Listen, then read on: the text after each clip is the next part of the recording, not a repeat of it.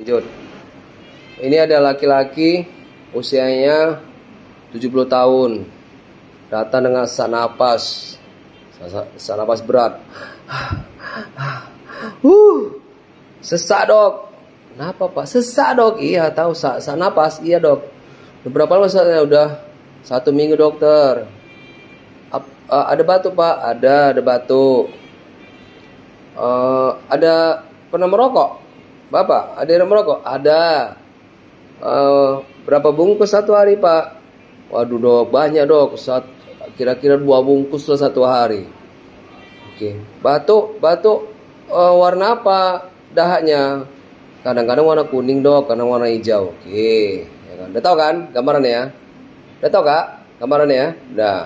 Oh, gak usah takut-takut. Ini ujian ini, ujian kalian kalian sebagai dokter UGD. Kemudian kau periksa, bolehlah foto toraksnya. Ternyata foto toraksnya ada gambaran, ada gambaran hiperinflasi, kemudian ada gambaran jantung pendulum, terus apa namanya ada uh, karena desa napas, ada suara-suara tambahan lah, ya kan? Suara tambah seperti rongki. Kira-kira apa diagnosa menurut kau? Apa? Abses paru. Apa? Pneumonia. Pneumonia sama abses paru. Belum bisa Rin. Udah yakin kau itu? Ya, salah kau saya. Nggak ngerti dia. Siapa bisa jawab?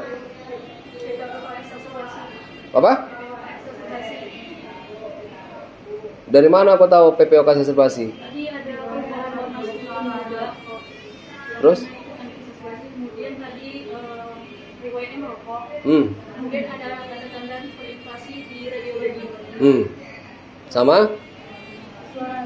Dia lain hiperinflasi sama jantung jantung pendulum. Itu kan ciri-ciri PPOK, PPOK gambarannya.